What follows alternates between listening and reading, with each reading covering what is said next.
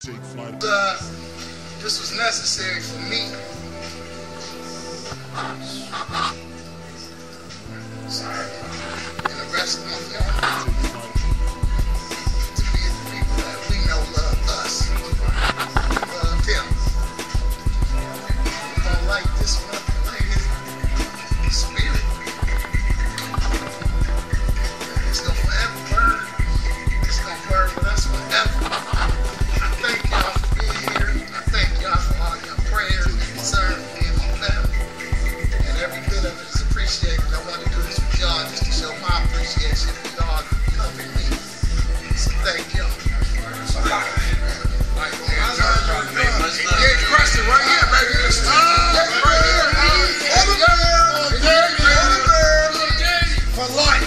right here, man.